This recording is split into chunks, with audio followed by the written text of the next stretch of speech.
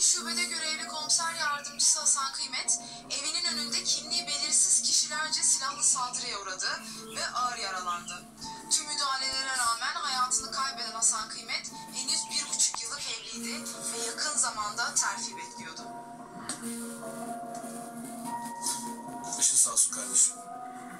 Sen eskiden beri tanıyordun değil mi? Akademiden beri arkadaşımdı. Kardeşim gibiydi. Yediğimiz içtiğimiz ayrı gitmezdi. Ah be Hasan, ah be kardeşim. Yapma İlyas. Bozma kendini kardeşim. Hiç hak etmedi, hiç. Geldiğiniz için sağ olun. Geçerken uğradık. Başınız sağ olsun. Hasan'ı pek tanıma şansımız olmadı ama. Keşke olsaydı. Tanısaydınız öyle severdiniz ki. Hem iyi bir polisti hem de iyi bir arkadaş. Hasan'ın yokluğunu çok hissedeceğiz. Allah sabır versin. Çok üzücü olmadı. Eksik olmayın. Yaşanan bu üzücü olayın sebebine veya faillerine dair henüz bir açıklama yapılmadı. Ancak akla ilk gelen ihtimal talihsiz polisin mücadele ettiği uyuşturucu çetelerince hedef alındığı ve susturulmak istediği yönündeydi. Ne diyorsunuz buna? Üzgünüz Rıza baba. Epey de şaşkınız. Sonuçta bir sürü insanın ayağına basan bizdik. Gidip niye Hasan'a bulaştılar bilmiyoruz. Üstelik profilde bir amir falan olsa suikaste uğramasını anlarım. Ama Hasan komiser yardımcısıydı. Neden ve nasıl hedef oldu anlayabilmiştiniz onu. Çekilin. Ben taşıyacağım kardeşimi. Müsaade edin.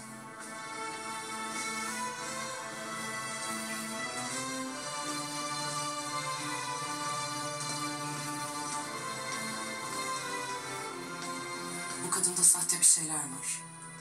Samimi olmayan bir yanı var. Umarım yanılıyorumdur. Her hareketi sakil, şüpheli. Ben de aynı fikirdeyim. Aslı kesinlikle temiz değil.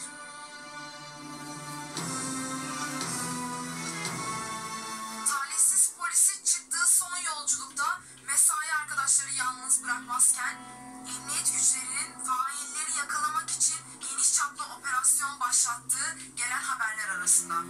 Hasan Kıymet'in naaşı bugün İstanbul'da toprağa verilecek. Şehit memur ve ailesi için bir kez daha başsağlığı diliyoruz.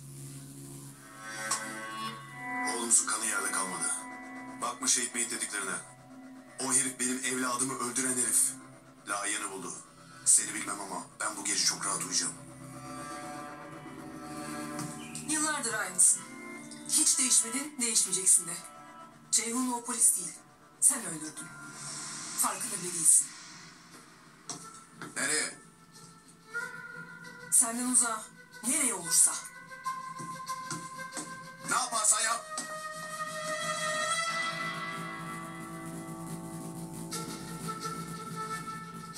Ben de biliyorum oğlum geri gelmeyecek.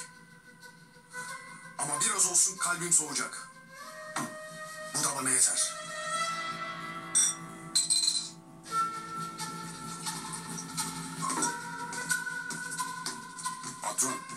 Müsaitsen telefon sana. Kim? Ragıp, Ver. Sana da adamlarına da bravo Ragıp. Dört dörtlük iş yaptınız. Aferin. Seni mahcup eder miyim Kadri Bey? Memnun kaldınız inşallah. Vurdunuz herif gebermiş. Sizden de iz bulamadılar. Daha ne isteyeyim? Siz orada rahat mısınız? Şimdilik rahatız ama çok kalmayız inşallah. İki gün daha sabredeceksiniz. Sonra tekneyle kaçıracağım sizi. O kadar para aldım Ragıp. Azıcık dişini sık. Peki, sizden haber bekleyeceğiz. Herif ölmüş.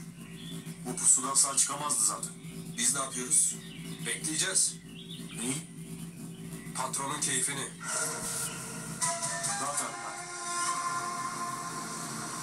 Geç geç. Ihlamur kaynattım iyi gelir. Ya Emine be sana da yük oluyoruz böyle vallahi sağ olasın. Aşk olsun. Siz hiç yük olur musunuz bana? Geçen hafta Ezgi'ye baktı, bugün sana. Vallahi Bütün ekibe bakacak. Sağ olsun. Allah korusun komiserim. Siz iyi olun da. Amin amin. Vallahi çok teşekkür ederim. Ellerin dert görmesin bu jestini unutmam. Faydam olduysa ne mutlu. Çorba kaynatmıştım ben. Ona bakın. Kaynat kaynat. Ay ne güzel kokuyor. Şş bana bak. İçeride yatağın hazır. Çarşaf nevresimleri değiştirdik. Televizyonu da açayım. Ağrım var mı? Ha? Bak bak ilaçlarını da sen gelmeden aldım. Burada hepsi tamam mı? Yazdı üstüne de. Mesut.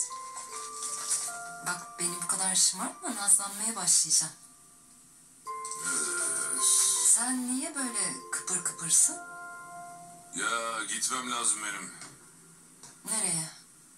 Cenazeye ya. İşte böyle keyifli bir yere değil yani. Hasan'ın cenazesi mi? Ha, ben geleceğim yine. Sen dinlenmene bak tamam mı? Tamam gel tabii özletme.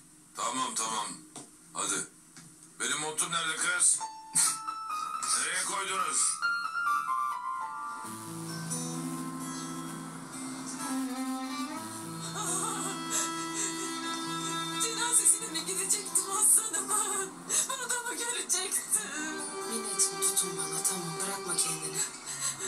sınıfa gidiyoruz değil mi? Evet ona gidiyoruz.